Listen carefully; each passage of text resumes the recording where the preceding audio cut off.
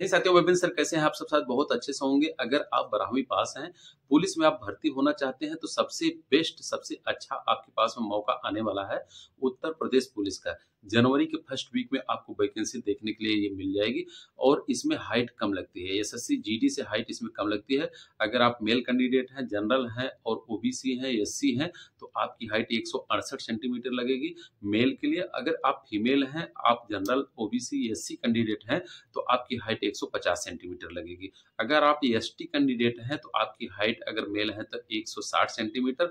अगर फीमेल है तो एक सेंटीमीटर। क्योंकि बहुत सारे बच्चे ऐसे हैं जो कि एस एस में भर्ती नहीं हो पाते हैं कम हाइट की वजह से, लेकिन आप भर्ती हो सकते हैं। 10 परसेंट वैकेंसी ऐसी होती है कि जो कि अदर स्टेट के बच्चों के लिए सुरक्षित होती है।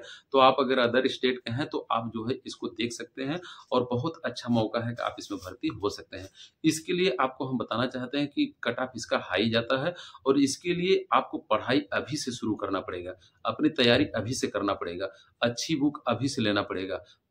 उत्तर प्रदेश पुलिस कांस्टेबल भर्ती परीक्षा 2023 की अगर आप तैयारी कर रहे हैं, सबसे बेस्ट बुक आपके लिए चक्षु पब्लिकेशन की बुक हो सकती है। आप इस बुक में सबसे इंपॉर्टेंट इंपॉर्टेंट क्वेश्चन पाएँगे। इसमें आपको तीन हज़ार बहुविकल्पी प्रश्न देखने के लिए मिलेगा।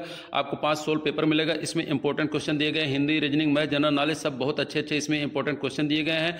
इस बुक में जितने भी इंपॉर्टेंट और जितने भी कठिन क्वेश्चन हैं, उनको बहुत अच्छे से सोल्व करके दिखाया गया इसमें आपको उत्तरमाला भी देखने को मिल जाएगा।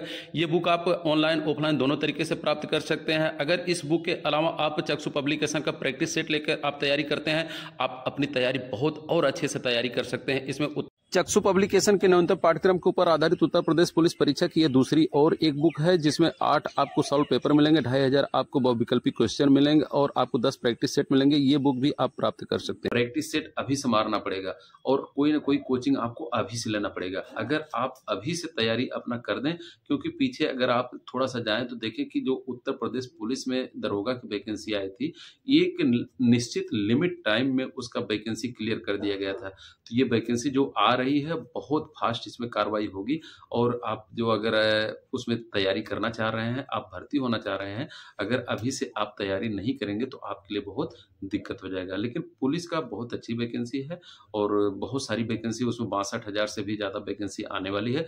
लेकिन इसमें दसवीं पास के बच्चे इसमें नहीं देख सकते, क्योंकि दसवीं पास वाले बच्चे जो ये एस की वैकेंसी देख लेते हैं, लेकिन इसमें उत्तर प्रदेश पुलिस में बारहवीं पास आपको होना ही चाहिए किसी भी साइड से। इसमें बहुत सारा आप देखेंगे कि अलग अलग ट्रेड का भी, जैसे रेडियो ऑपरेटर का भी है इसमें प्रोग्रामर का भी है अलग अलग टाइप्स की बहुत सारी वैकेंसी आएँगी।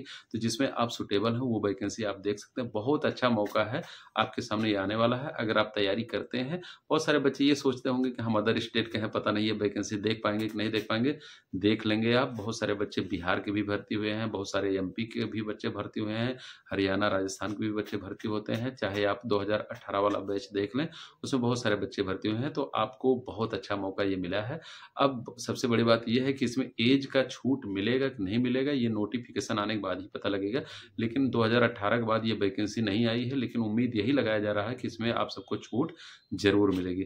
तो आप सब अपना तैयारी तो एस एस के बहुत सारे बच्चे कर ही रहे होंगे जिनकी हाइट है। बहुत सारे ऐसे बच्चे जिनकी हाइट नहीं थी तो उनको भी मौका मिल गया है पुलिस में भर्ती होने के लिए। तो आप सब बहुत अच्छे से मेहनत करें, लेकिन एक चीज़ याद रखना बिना कुछ किए जय जयकार नहीं होती, कोशिश करने वालों का भी हार नहीं होती। आप अगर कोशिश कर रहे हैं तो आपको सफलता ज़रूर मिलेगी, लेकिन आप अभी से जुट जाएँ एकदम। ये मत इंतज़ार करें कि वैकेंसी आएगी, उसके बाद हम शुरू करेंगे, क्योंकि तब तक बहुत ज़्यादा लेट हो जाएगा। हो सकता है कि जैसे ही वैकेंसी आए, एक महीने का टाइम मिलेगा फॉर्म भरने के लिए, और उसके बाद फिर आ जाएगा। एग्ज़ाम का भी डेट तो आपको ज़्यादा समय नहीं मिल पाएगा। अगर अभी से अपनी तैयारी जारी रखेंगे तो फिर आपको उसका बहुत ही ज़्यादा फ़ायदा मिलेगा।